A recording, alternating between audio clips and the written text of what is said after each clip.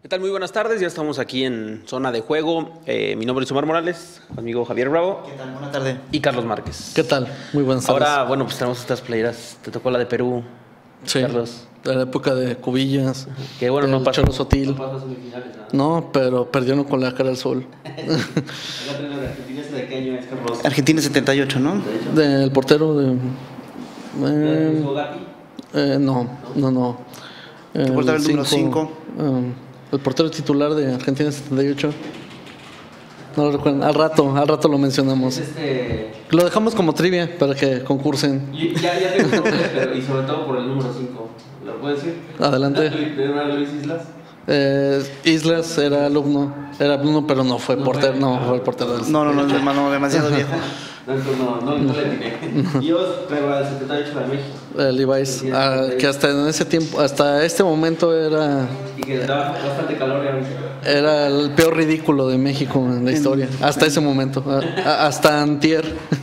El sábado, hasta el sábado como a las dos, eh, 10 de la noche. Sí, era, esta era la del Bueno, peor pues vamos a ridículo. empezar justamente. eh, ya el, el fin de semana pasado estuvimos analizando eh, pues las primeras dos llaves que fueron el pase de Estados Unidos 2 a 1, Ujú. que derrota al equipo de Ecuador. Eh, una selección de Estados Unidos pues, que ha, ha venido de menos a más, ¿no? Empezó muy mal el torneo Sí. la derrota de Colombia. Si ya lo queremos matar a, a Klinsmann. eh, y que bueno, pues ahora pues me parece que es el equipo que más va, más ha ascendido, ¿no? Tomando en cuenta cómo empezó el torneo, es el equipo que llega mejor. Y es el único que, que queda de CONCACAF. Exactamente uno de cuatro, exactamente de los semifinalistas, pues nada más uno es de eh, CONCACAF. Eh, y bueno, para um, en la otra semifinal, Perú contra, contra Colombia, justamente también un partido muy, muy, muy cerrado, que a final de cuentas fue empate a cero goles Sí. y que a final de cuentas se define en la tanda de penales, ¿no? A favor del equipo de Colombia. Sí, los cafetaleros, uno de los favoritos para, para campeonar en este, en este certamen. Así es. Digo, un proyecto muy significativo. Eh, Perú, pues realmente tenía un poco más de ímpetu. Yo creo que hombre por hombre Colombia es mejor. Sí. Este, es finalmente el- el- un digno semifinalista.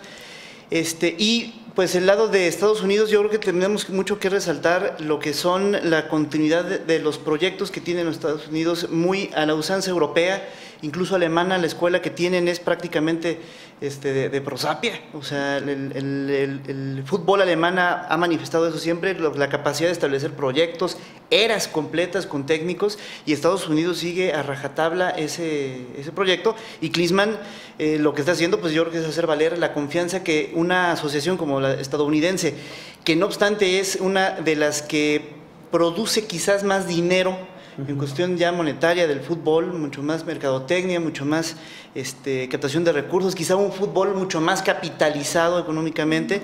No obstante eso, no caen en, en- las este, etapas este, o en los bomberazos, ¿no?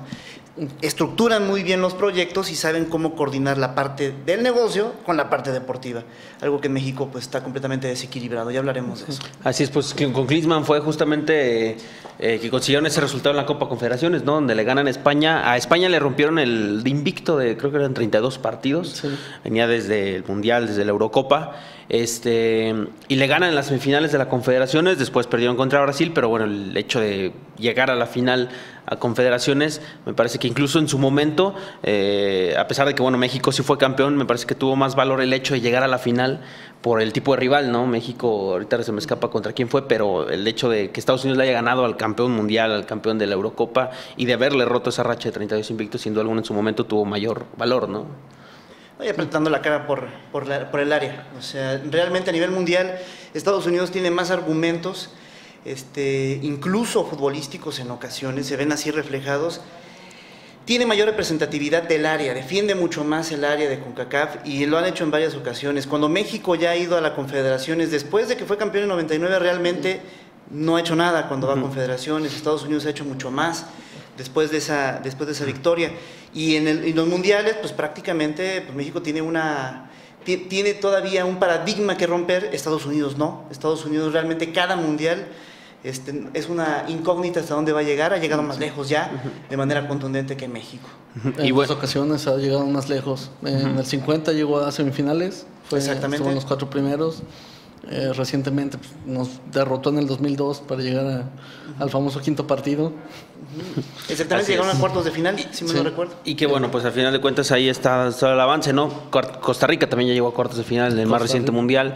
eh, y bueno, ahí estado el avance, ¿no? Eh, y bueno, esa fue el, el, eh, las llaves que se realizaron primero en la Copa América. Después vino ya el sábado la llave entre, bueno, primero la serie entre Argentina y Venezuela, en la que, bueno, parecía que era la serie pues con mayor diferencia y que, bueno, pues hasta el momento lo había demostrado, ¿no? Con ese cuatro goles contra uno, en donde, bueno, pues Argentina se mostró superior, eh, tardó un poquito en, en, pues, eh, digamos, demostrar eh, de manera amplia esa superioridad. Dos goles de Gonzalo Higuaín, uno de Messi, uno más de Eric Lamela, fueron eh, eh, los que pues eh, dieron forma a esta goleada, cuatro goles contra uno, Salomón Rondón de lo mejor de la selección de Venezuela, el delantero que puso un gol más y que bueno pues eh, acercaba a la selección de Venezuela. Falló un penal cuando estaban 2 a 0 el combinado de, Venezuela, eso le costó demasiado, Argentina eh, pues eh, metió el tres goles contra cero. Después Venezuela responde con un gol, pero inmediatamente después, bueno, pues Argentina da el golpe de autoridad y pone el definitivo cuatro goles contra uno, ¿no? Con eso Argentina, pues ya está de nueva cuenta en semifinales y a todas luces, bueno, pues se mantiene, ¿no? Sin duda alguna con esa etiqueta de favorito y de, pues prácticamente con la obligación, ¿no? De conseguir el título. Obligados totalmente. Eh, el penal de Venezuela, qué bárbaro. Hay, hay maneras de fallar penales. Lo trató de meter a Lopanenka, ¿no? Sí, horrible. El penal- el- el- las ejecuciones de Higuaín de crack. Así es, que un, un Gonzalo Higuaín que realmente ya muchos no, me incluyo con él, ya no damos mucho por él. Realmente es un tipo que hasta, eh, incluso en aquel Mundial 2010, que yo tampoco, nunca he sido partidario de Higuaín, se me hace un jugador muy tronco, muy, muy, muy pesado dentro del área. ¿A qué coraje fue que nos anotara ese gol con ese error de Osorio en el 2010, si mal no recuerdo? Sí. Este, pero bueno, hoy sigue, sigue produciendo. Eso es lo que tiene el, fútbol argentino. Sigue produciendo jugadores y esos jugadores incluso cuando están ya en su etapa, pues digamos, de, de- de- de decadencia o vamos, de retiro prácticamente, siguen produciendo y siguen siendo rentables. Y ahí es donde está Higuaín. Es, un- sigue siendo un jugador el- ampliamente híjole. rentable. qué bárbaro. Se la, se la, fue, fue un regalito, ¿no? Ahí bien. Fue adelantado, día de, eh, de adelantado el Día del Padre. y bueno, pues ahí está la, la tajada de Sergio Romero. Eh, todavía después vino, insisto, la anotación de Lionel Messi para poner el tres goles contra cero. Eh, Salomón Rondón de cabeza puso el 3 a 1 y a final de cuentas la Mela puso el definitivo cuatro goles contra uno. Con eso, insisto, Argentina eh, dejó en claro esa etiqueta de favorito y que bueno pues tiene que ahora demostrarlo justamente en las semifinales y con el, prácticamente con el camino limpio de cualquier eh, potencia no o rival que suele complicársele como el caso de Brasil de Uruguay el mismo Paraguay selecciones eliminadas en la primera fase y que ahora bueno pues ahí tiene el camino libre Argentina no Pues va contra Estados Unidos. Vamos a ver quién da por muerto a los, a los gringos en esta instancia. Yo ya no. Yo ya no. No, yo creo que han dado muestras.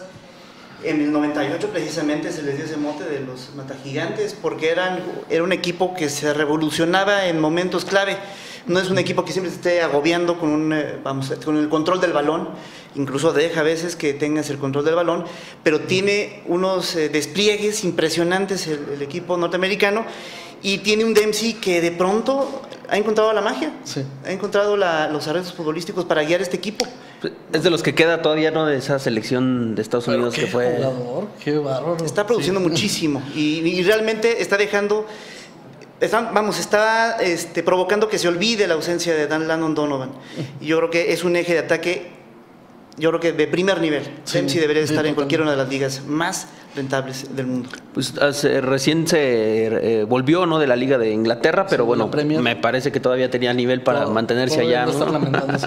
Así es. Esa fue la, la serie el sábado y luego, bueno, pues ya más noche vino este partido entre México y Chile. Eh, desde el, me parece desde el primer minuto del partido dejó en claro que México no iba a ser su, su noche, su- no iba a ser su día, mejor dicho. Eh, y que bueno, pues eh, de inmediato Chile mostró, demostró su superioridad. Me parece el, error, el, primer error de, de Juan Carlos Osorio fue al momento de hacer su alineación. ¿no? En los primeros dos partidos, si bien le había costado por cierto, en ciertos momentos ante, ante Uruguay y ante Jamaica, eh, había, había hecho, pues había demostrado que esa, esa alineación de tres defensas, tres mediocampistas, un, pues un jugador, un enganche, un jugador atrás de los delanteros y tres adelante, tres en el ataque, pues le había venido bien, ¿no? Esta alineación había sido objeto de críticas, pero bueno, pues ahí habían estado los resultados, había mantenido pues eh, esa racha, ¿no? De gol, de minutos sin recibir gol.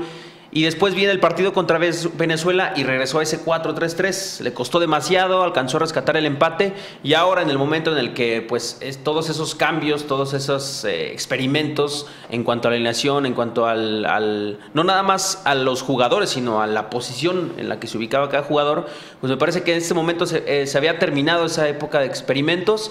Vuelve a salir con un 4-3-3 eh, con un jugador como Dueñas, que pues, no había tenido su mejor momento, eh, le da la confianza de, ponerlo como titular y bueno, pues sí, vimos lo, pues la exhibición, la, la humillación en, todo, toda su, eh, pues, todas sus letras que le dio Chile a México. ¿no?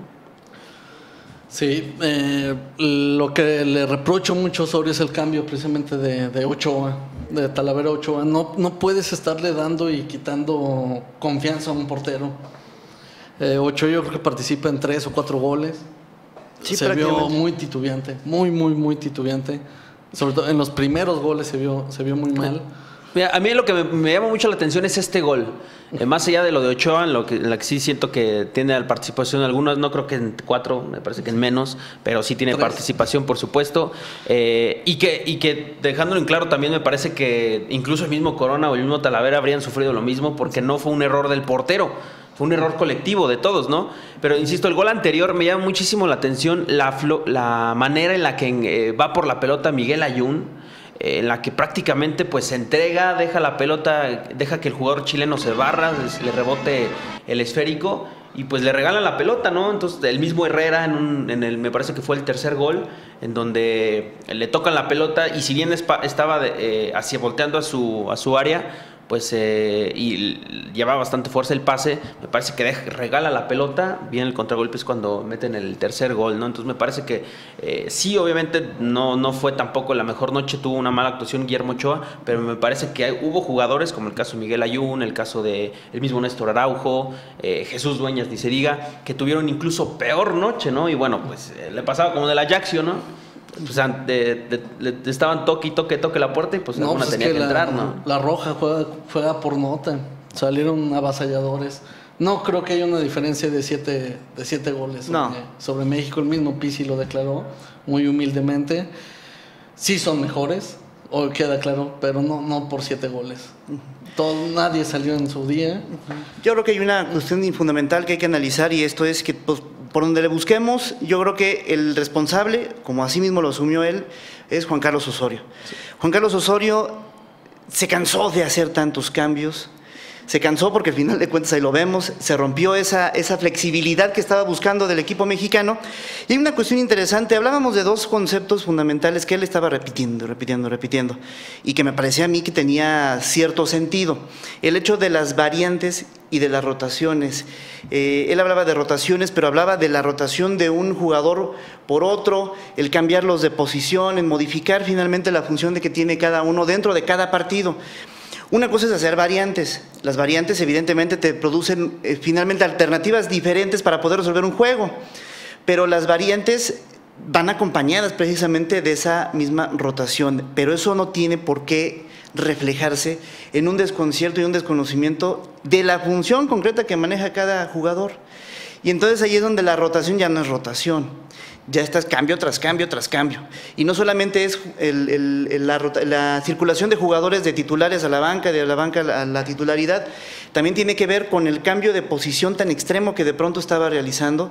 Yo creo que la, parte más eh, clara donde se muestra esto es en la defensa. Son cuatro defensas que realmente no tenían un entendimiento, no tenían una coordinación y además el portero, que es, digamos, el primer capitán de un equipo de fútbol, que es el que coordina esa línea baja, estás cambiándola constantemente. No es lo mismo. No es lo mismo ni Corona ni Ochoa, incluso Talavera. Tienen capacidades Los tres son muy buenos arqueros, no me cabe duda que son los, los mejores porteros que tenemos en México, pero los tres tienen características distintas. Sí. ¿Quién sale mejor de los tres? Me parece a mí que Talavera. ¿Quién tiene mejores reflejos? Ochoa, pero bajo los tres palos. Entonces son condiciones distintas y evidentemente son indicaciones diferentes en la línea defensiva cuando viene un ataque, cuando viene un balón parado, cuando viene un tiro libre todo ese tipo de cuestiones prácticamente se tiraron por la borda, con un Juan Carlos Osorio que si bien tenía un proyecto en mente, creo que tenía una idea muy clara de hacer estas variantes, lo más criticable es dónde, cuándo y cómo las hizo.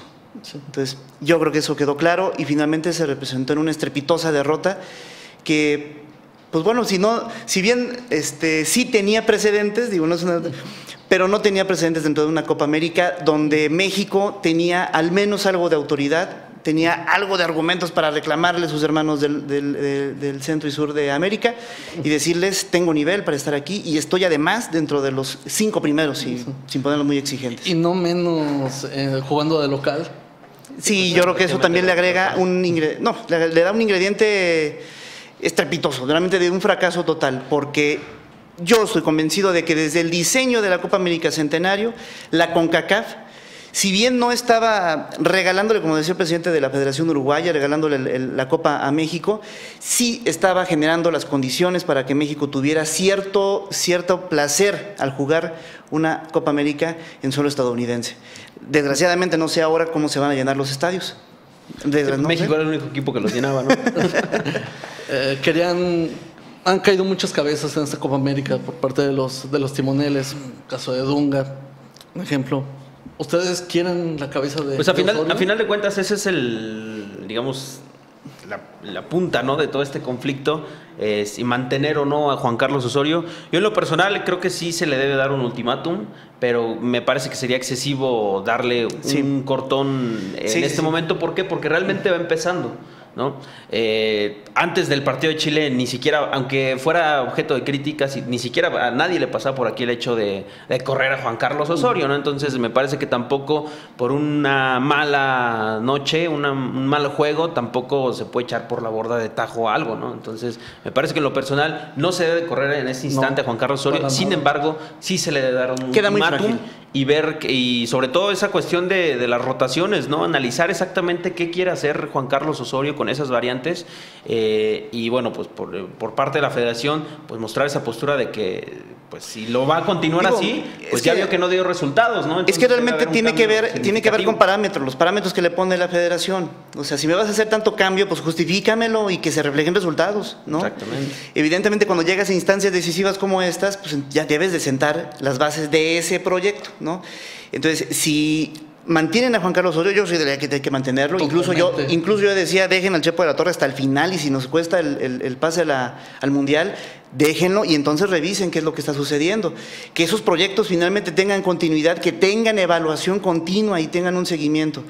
Eh, si Juan Carlos Osorio va a seguir haciendo lo que él quiera, este, incluso en instancias decisivas como estas, incluso en la eliminatoria mundialista, olvídense, vamos a repetir lo mismo de hace, de hace tres años, hace cuatro, años. O sea, prácticamente, bueno, y lo de hace, ocho, años. Entonces, realmente no vamos a encontrar una solución. Y yo insistía desde el Mundial pasado, me parece, hace falta que haya una catarsis completa para que la federación tenga una sacudida, solamente así la historia lo ha indicado en diferentes ocasiones también, también quiero que se quede Osorio. Eh, estaba invicto hasta antes del sábado. No solo invicto, había ganado todos sus partidos, que no había convencido, que todavía, cosas, que todavía había cosas por mejorar pues después de este 7-0 va a aprender mucho. Quizá el método no era criticable. Solo, había recibido dos goles, ¿no? es quizá el método no, era, no es lo criticable. O sea, puede seguir ese método de rotación de variantes como él lo quiera llamar, no hay ningún problema, pero en los partidos que así se presten.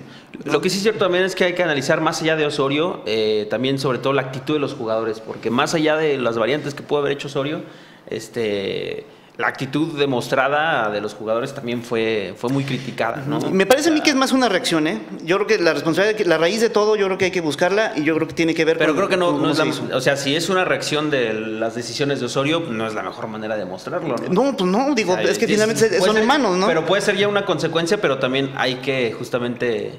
Eh, pues ver por qué, por qué reaccionaron de esa manera, ¿no? Porque, o sea, puedes entender un jugador... Es una revisión general. Puedes entender que un jugador, dos jugadores no, no estén en su día, pero que los 11 jugadores de plano hayan tenido esa... Los 11 esa- jugadores estuvieron en posiciones distintas. Pues no, Tecatito se mantuvo en la misma posición. Estamos, hablando de alguien que tiene muy claro que te tome un balón en la media cancha y si llega hasta la línea final, yo creo que ya sería el colmo que, lo moviera él. Creo que sí es criticable le- la actitud que, que tuvieron todos los jugadores en este partido. Más ahí, tomando en Entra cuenta en el también análisis. mención aparte, ¿no? Mención Entra en el análisis y yo creo que dentro de ese análisis se deben de establecer las prioridades y dónde están los puntos finos que hay que ajustar. Este, yo creo que el inicial debe de ser por el proyecto del entrenador. va. Vamos a una pausa y ahorita volvemos con más.